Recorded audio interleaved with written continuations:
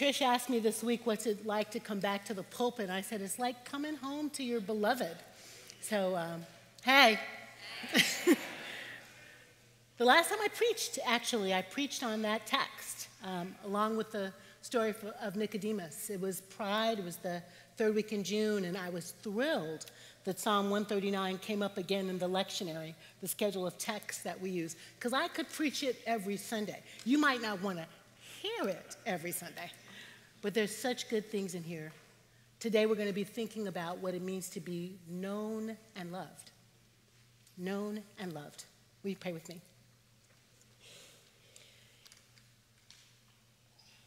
Eternal God, your word is a lamp unto our feet and a light unto our path.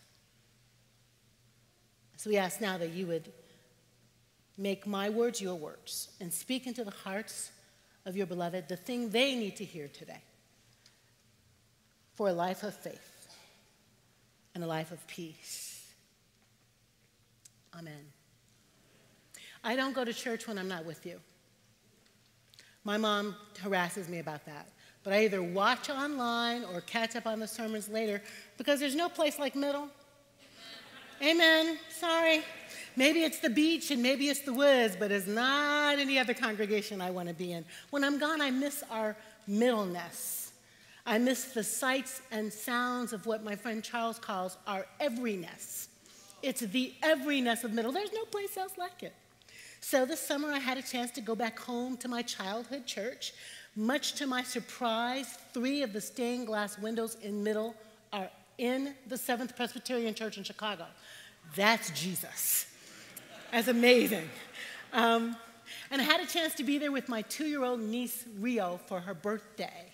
And we had a birthday party for her at a water park. Um, I've told you before that Rio is a screamer, uh, but now she's two, and so she screams in full sentences.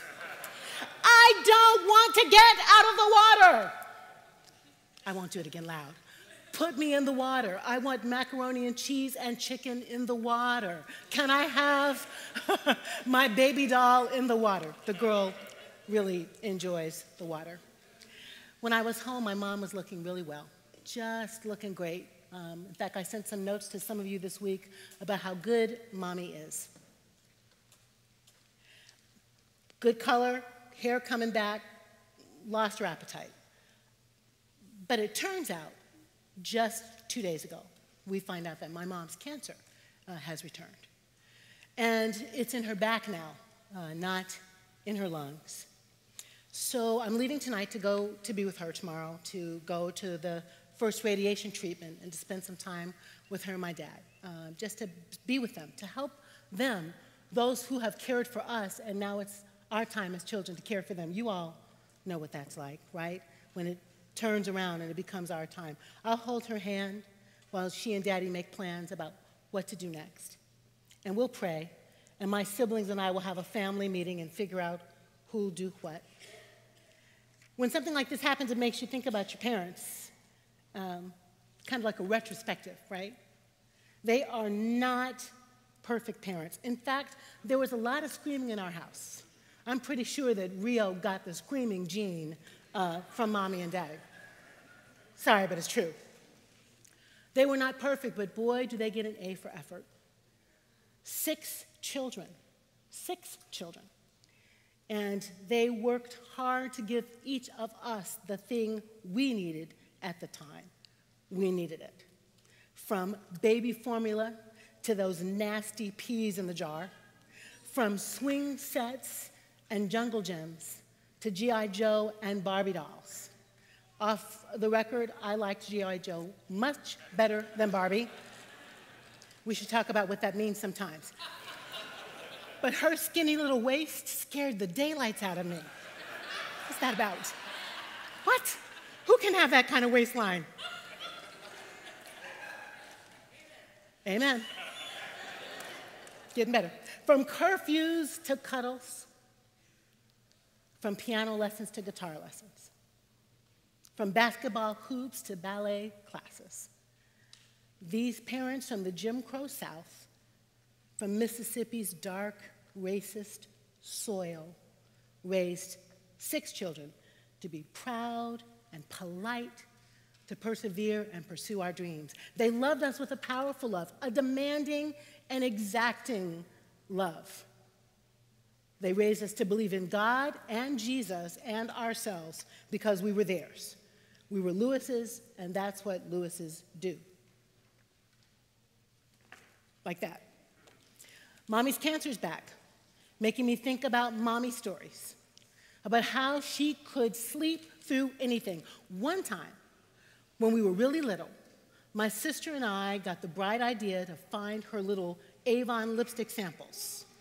Ooh, those were so, they were irresistible. They were not colors necessarily for black women, a little peachy, a little pink. Just go there, a little chalky. But, but, oh, they were just the right size for our hands. We drew all over her face. Yeah. And on the oak headboard of her bed. Baby girl slept through it all till daddy came home. Then there were some butt spankings and some screaming, and she woke up. One time, when I was a, about second grade, fourth grade, we had just moved to Chicago, and I spoke in the, the, way I speak now, which was considered in those days to be proper talking. Anybody black in the room get accused of being proper? It's, it's a black thing, okay? But, but if, you, if you don't talk with the sort of ebonic moment, then you're, right? Holla, then you're accused of being proper. Well, this little girl named Pam did not appreciate that at all. As dark as I am, she accused me of thinking I was white. What? And she wanted to fight me, and she did several times. But one day, mommy was like, oh, heck to the no, and walked me to the school yard, found Miss Pam, put her hands on her hips, and said, If you touch my little girl again, you're going to be sorry you were born. No more fighting.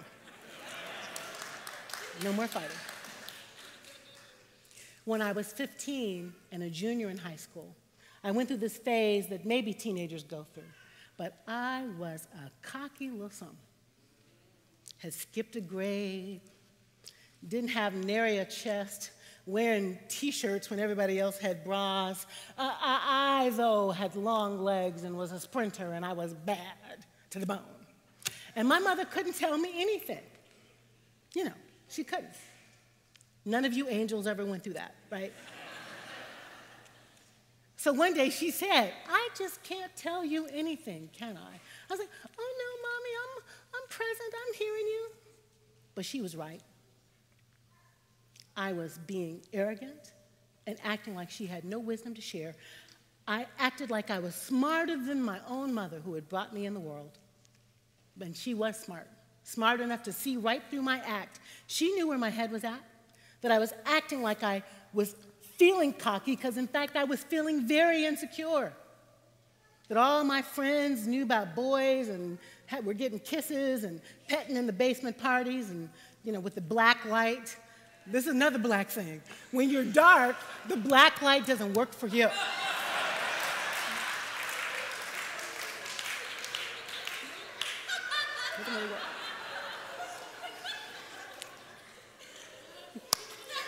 So, um, yeah. So it wasn't that I was feeling confident, I was feeling shaky and afraid and like I wasn't quite right. And mommy saw right through it. Thank God what she saw in me did not deter her, did not make her love me any less with my crazy little self. She still loved me. She still protected me. She saw everything about me, knew everything about me, and kept on loving me. When I was seven, she must have known that I was already feeling a call to do something in the church, to work for God. So when it was communion, and those delicious little cubes of sweet bread came by on a platter, passed down the row and I took a piece of bread. She didn't talk to me about no broken bodies and blood and stabbed sides. She said, This means God loves you. No matter what. And then when those little delicious cups of Welch's grape juice, don't you love Welch's grape juice? When they came down the aisle, she didn't talk about shed blood and resurrection. She just said, This means God will never leave you, no matter what. God loves you and will never leave you. A simple sermon from a loving mom who didn't go to college, let alone theology school even more than she did. God loves me, she wanted me to know. Knows me, knows me, and will never leave me. The psalmist says it this way Lord, you have searched me and know me. You know when I sit down and when I rise up. You discern my thoughts from far away. You see me in the gym. Oh, I'm sorry, the psalmist didn't say that part. you see me in the gym. You check me out on the yoga mat trying to do those poses, doing squats in front of the Scandal television show. You search out my path and my lying down and are acquainted with all my ways. You see me on the subway, God, and in the airplane. You see the way I roll my eyes behind my boss's back. And you know how kind I am to my neighbor who is such a weasel. but she doesn't have anybody else. Even before a word is on my tongue, oh Lord, you know it completely. Those thoughts and dreams and hopes I have, the curse word I am choking back right now, the play I'm writing, the deal I have to close. You hem me in behind and before, and you lay your hand on me. You're guiding me in a pillar of light through the wilderness. You have my six, God. You have my back. Such knowledge is too wonderful for me. It's too high for me to get. I can't understand it. I don't know what it means. I simply can't believe how fully you know me, how I can't hide from you.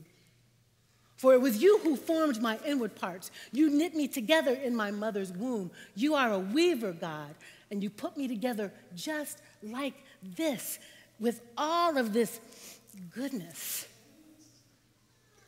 and with all of my crazy town, all of the things I'm not proud of.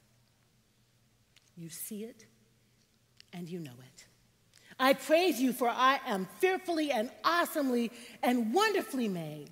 Wonderful are your works, oh God, that I know very well. You made the universe, and you made me just like this. My frame wasn't hidden from you when I was being made in secret, intricately woven in the depths of the earth. Your eyes beheld my unformed substance in your book were written all of the days of my life, ordained all the days of my life, set out before me everything I would do.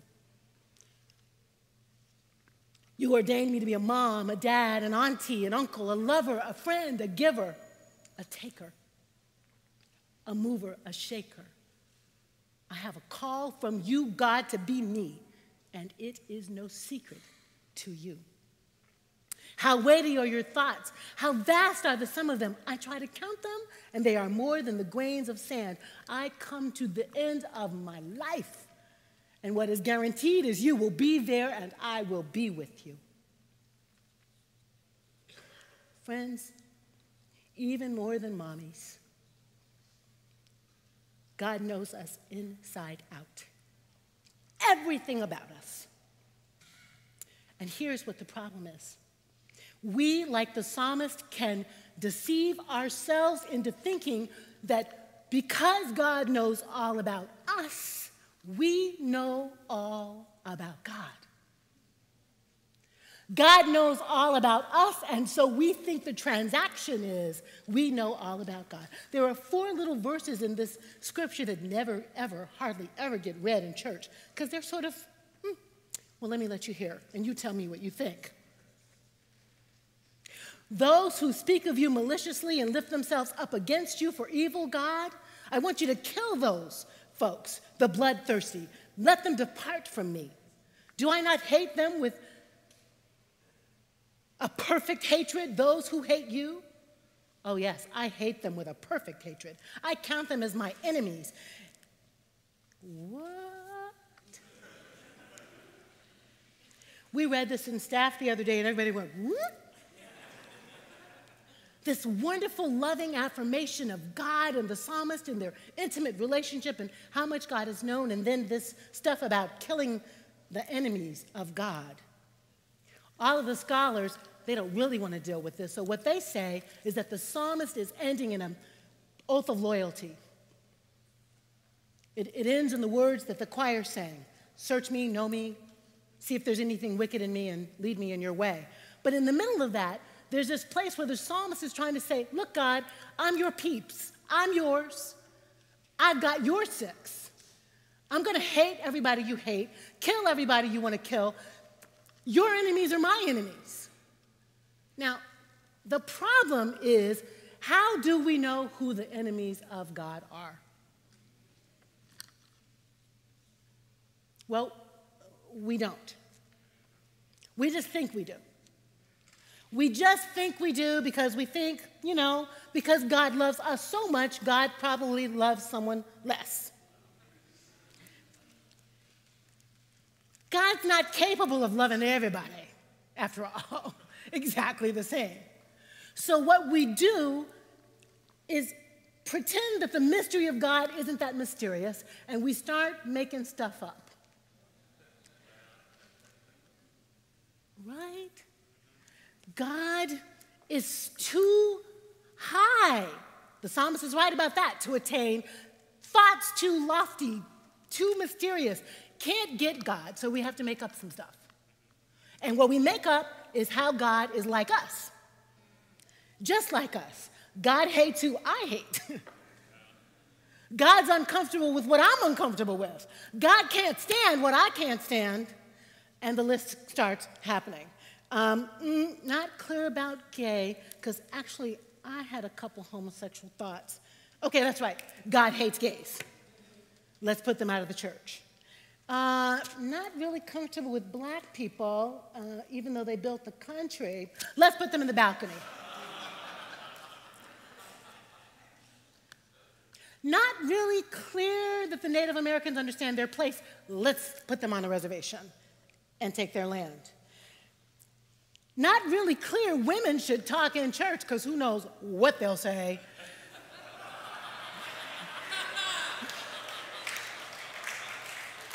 Hello, let's not ordain them.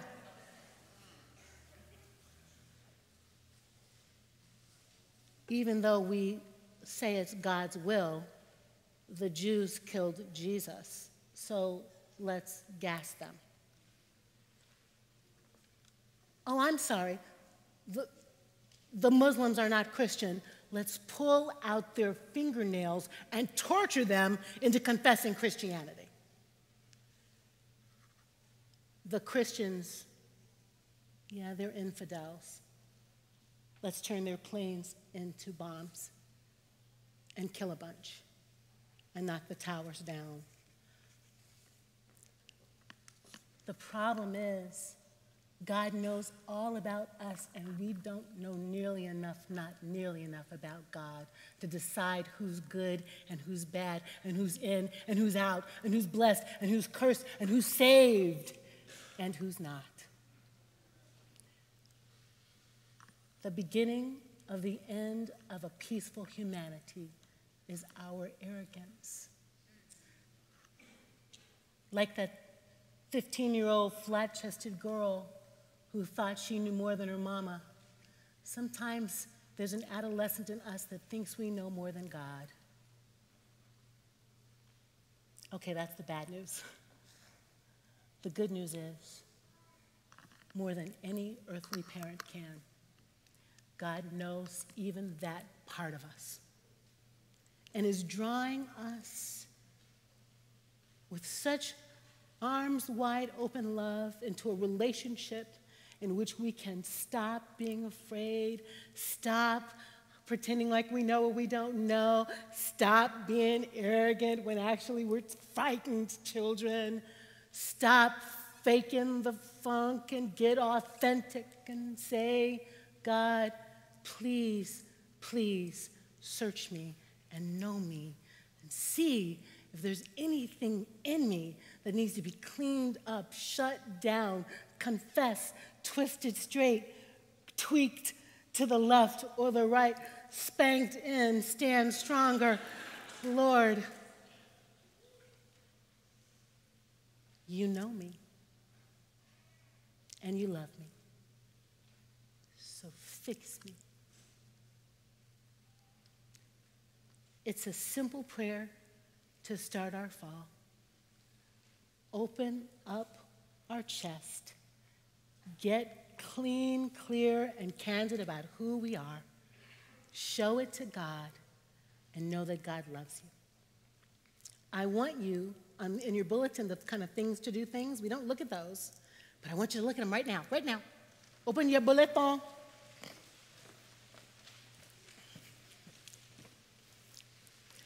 And one of them says, uh, and I, am this is kind of squishy for me because I'm not like that squishy girl, but I'm going to give you a squishy project. You know, affirmations and stuff. I have friends who give me little affirmations on cards. That's not really my thing. Put this in your mirror, but I'm asking you to put this in your mirror. Just be a little squishy with me and find a way to put on your phone where you're going to look at an, like you can call it the I Love Me app. I don't know.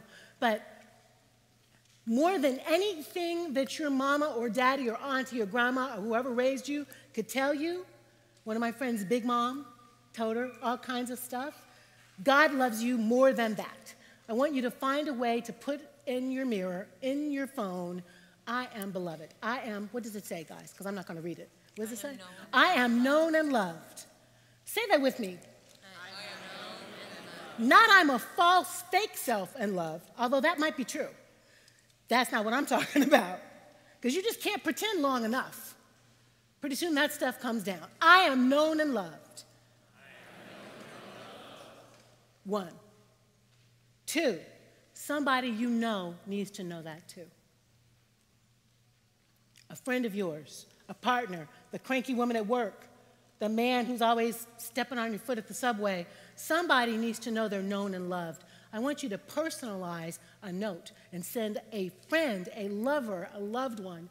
You are known and loved, dude. You can say what else you want to say afterwards, like, therefore you can. No, but I mean, you know, you are known and loved. It's a gift, it's a strength, it's a place of power from which to move. Three, and this is the hard one one of your enemies needs to know they're known and loved. If we all be behaved as though we were known and loved, we wouldn't hate each other. The source of enmity is a lack of self esteem. It's in Syria, it's in Egypt, it's in Chicago on the south side. One of your enemies needs to know that they're known and loved. They need to know that you are in the process of forgiving them. Don't lie. Again, we're not doing faking. faking. But talk about where you are really in the process. I'm still mad at you, but God loves you and, and knows you, and I'm, I'm working on it. Can we have coffee? God loves you and knows you, and I'm, I'm just wanting to see if we can make it work. Three little projects to make the sermon live when you leave the room. Mommy has a little cancer, and so I can't help but think about how much she knows me how much she loves me, and how her human love doesn't even scratch the surface of what God can feel and does feel for all of us. You are known and loved by the Holy One. You can't hide it, and the good news is you don't need to. God bless and keep you. Amen.